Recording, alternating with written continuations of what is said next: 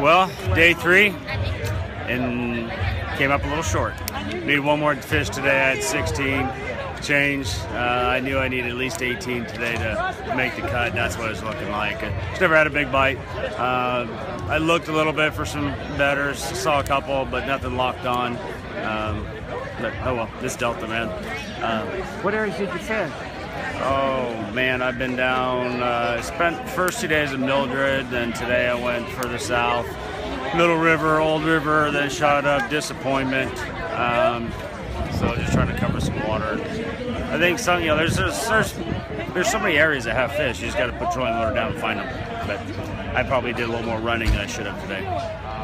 Well, good luck, and I assume you're on your way to Havasu? Going to uh, SoCal, Arizona state line and get in some desert weather and some desert fishing.